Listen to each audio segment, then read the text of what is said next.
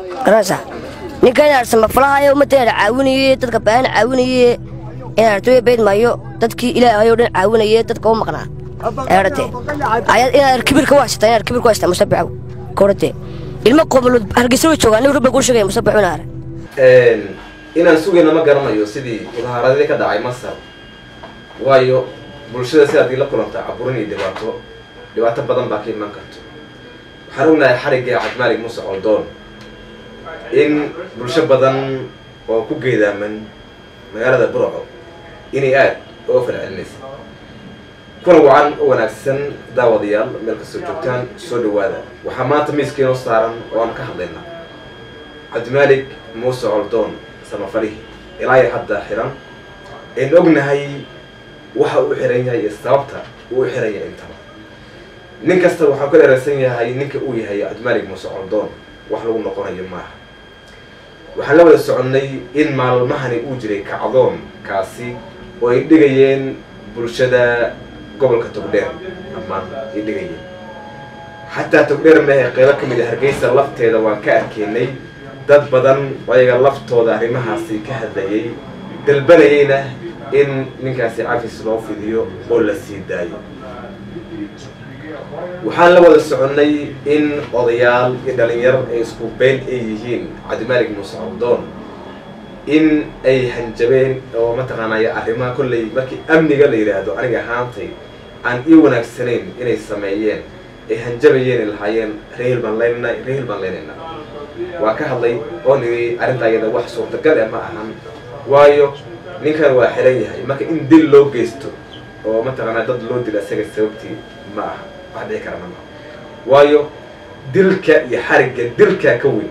Marka in qof bini-aadana dembi aan lahayn waxa uu xiran yahay waa xukuumad ee shaksi maaha. Haddii shaksi uu xiran yahay waa wax kale marka in dembigaasi weyn la galaa ma ahayn waan diidnay waxaana soo gaartay in odayaashii iyaga laftooda mataqaana la xirxiray qeybo ka mid. Waan la wada soconay barnaamijyadaasi. Hadda maanta maxaa cusub? Maanta lafteeda waxaa cusub inaan arkaynay haween aada u fara badan oo iyaga laftooda dalbanayay in cafis loo fidiyo amaba la sii daayo. Cabdimaalig muuse coldoon iyaga oo weliba sheegay in cabdimaalig uu shaksi u xiran yahay eesa xukuumad uu u xirneen cabashada bulshadu way isa soo taraysaa maalinba maalinka ka dambeyso bulshadana sideeda haddii mataqaanaa la caburiyo la cadaabo dhibaato badan qofka hadlabo lagu istaago dhibaato badan baa lagala kulmay waxaan ogeyn fagaarihii taxriir wixii ka dhacay.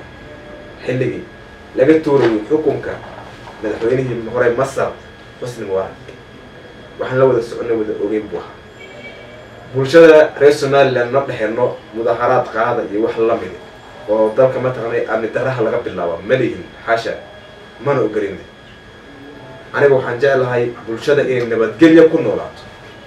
Waan wax uu qof kasta uu jecel yahay in shaksi keliya dhibaato dad loo geliyo ma dhici karto ma aha waayo dhibaatada ka dhalanaysaa ka daran hase ahaatee haddana xariggii cabdimaalig wuuna dhibayaa dhibaatuna nagu hayaa dhibaatada nagu hayaan waxaa ka mide dad badan oo uu caawin jiray ama mataqaanay uu u gargaari jiray in maanta aysan haysan cid u gargaaraysa xukuumadda intay timaado dadka iyaga ma caawinayso dadkii rafaadsanaa ee deymaha loo haystay dadkii xanuunsanaa dadkii dhimirka la'aa waxaasoo dhan oo ninkan uu caawinayay xukuumadda intay u istaagto booskiisii ma buuxin karto. Waayo wixii kabayay ee waxaan buuxinayay wuxuu ahaa codkiisa iyo dadka soomaaliyeed oo intay ka fali celiyaan meelay joogaan dunidaba ee dadkaas wax ku taraan. Laakiin ma awoodo xukuumadda in arrimaha iyaga ah iyada ay buuxiso ma awoodi karto. Saas daraaddeed marka. Cabdimaalig qof kasta oo soomaaliyeed wuxuu dalbanayaa in cafis loo fidiyo xukuumaddana ay caawiso oo ay il gooni ah inay ku dhoorto yaa mataqaana ayaa loo baahanya waayo bulshada waxaa weeye waxay matalaysaa amaba mataqaanay xukuumadda waxay matalaysaa bulshada. Bulshadana waxay ka dalbanaysaa xukuumadda uu hogaamiyey muuse biic in ninkaasi sharci darrada ku xiran in la sii daayo waxa uu bidhaamiyey cabdimaalig wuxuu ahaa keliya war magaalada dad xun baa jooga na fasaadinaya iska qaban. War magaaladu iyo dalka aan ku noolnahay dad xun baa joogay waan iska qaban. Taasi wuxuu eersaday marka cabdimaalik in mar kale xabsiga loo dhaadhiciyo oo si xun looga falceliyo.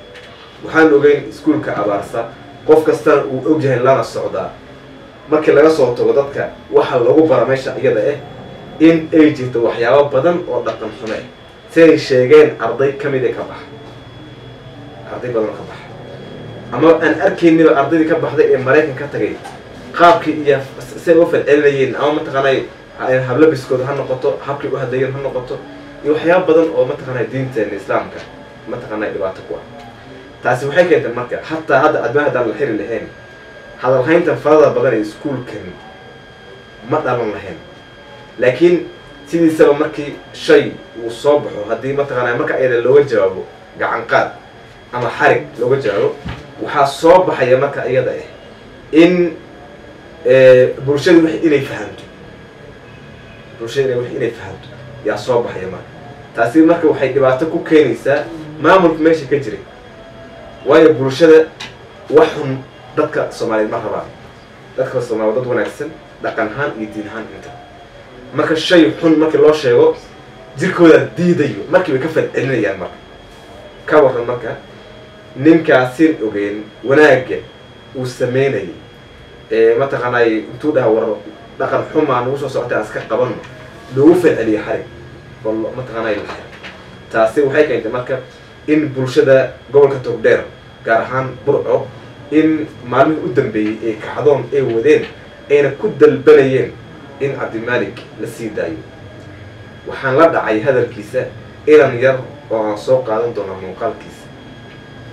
Qaabka uga falceliyey inkasta oo isaga mataqaana xoogaa uu muxuu ahaa s n m t meesha qabsatay uu ku soo hadal qaadanayay oo u lahaa s n m waa lix lixle s n m waa lix iyo wixii la mid taasi ka hadli mayno waayo ma me meel kastoo la qabsado xukunka markii la qabsado dad unbaa xukumo oo hayo. Qof kasta ma hayn karo ama s n m ha hayaan ama kuwa ka madax banaan iyaga ha hayaan qof maa mataqaanaya xukunka qabanayo. Marka laakiin alcumuum waxaa un weeye ninka isaga ah waxaanu ognahay qof kastana og yahay inuu dulmi ku xiran yahay. Marka bulshada gobolka togdheeran dhammaan waxay dalbanayaan ninkaasi dulmiga ku xiran in calal madaxweynaha inuu cafis inuu ufidiyo haddii isaga uusan ufidin karinna kolla u ufidin karaa ninka ugu sarreeya waddanka maxkamadaha xukumaya ee xukunka hadda gacanta ku hayo waa in arrintiisa ay dadejiyaan oo mataqaanaa ninka asaga ah xorriyadiisii uu helo uu shacabkiisii dadkiisina uu dib ugu noqdo. Haddii kaloon ahayn waxaan ka cabsi qabnaa dhibaato ka weyn muxuu ahaa tan hadda asaga xarigiisa eh inay dhacdo. Caburinta bulshada dhibaato badan baa lagala kulmaa. Marka bulshada hadda intay mudaharaad iyo af ay taagan tahay waa in arrinta iyada ah sida uu dhaqsaha badan wax looga qabto waxaan rajeyn doonaa insha allah in arrintan iyada ah wax laga qaban doono. Maalmaha soo socdana arrin farxad leh aan maqli doono oo ah cabdimaalik baa la sii daayay. Dadka qaar baan waxaa arkayna iyagoo yutubiya ku soo qorayo cabdimaalik oo toogasho lagu xukumay oo maxaa loogu xukumaya muxuu saabsaday. Cabdimaalik waxaa weeye hadda xaalkiis wuxuu marayaa in isaga dadkii soo eedeeyey uu yidhi ma baxayo xabsi ka bixi maayo ilaa dadka iyaga ah maxkamad la ii saaro. Dembiga igu soo xiran waxa uu yahay. Halkaasay baasha maraysa meel fiican bayna maraysaa insha allah kullay salaadiintii iyo cuqaashii dhammaan way ku jiraan wayna soo dhamaan doontaa waad